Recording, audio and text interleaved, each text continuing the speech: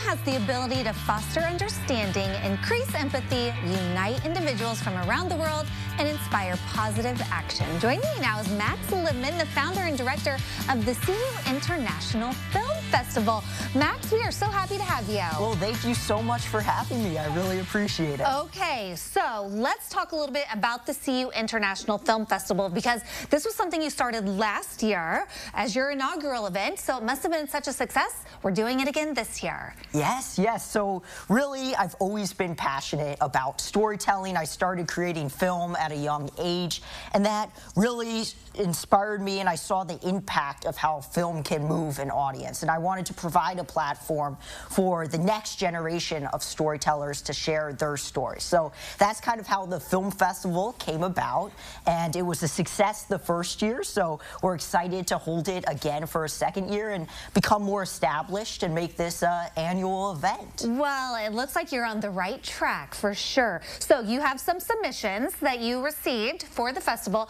Sounds like they came from all over the world. How did you go about choosing which films you're going to be showing? Yeah, so we had submissions from all across the world. We have three categories. We have a high school filmmaking category, a college, and then an indie filmmaking category.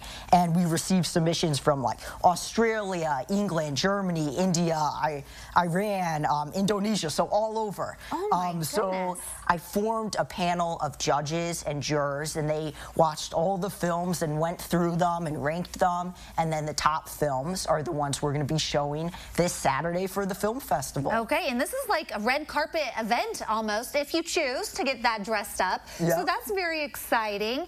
Let's take a look now at one of the trailers that you have for, for some of the films. So let's take a look.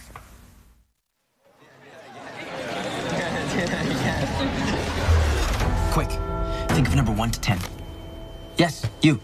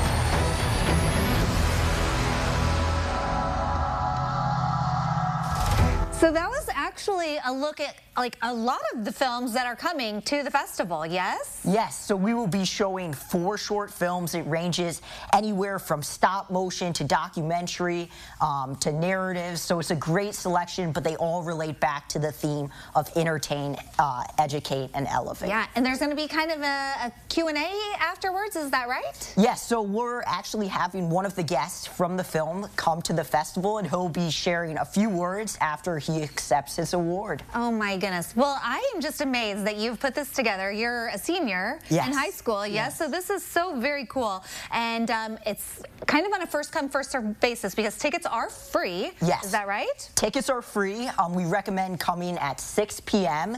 Um, because it's on a first come, first serve basis, and we're expecting a decent crowd. So if you want to make sure you have a seat, I recommend coming early. Very good. Well, I recommend that as well. And um, of course, we have to thank your sponsors that also help make this um, possible. And we appreciate you being here. Thank you so much for having me. You're welcome. If you want to learn more about this year's festival, excuse me, we'll connect you at ciliving.tv.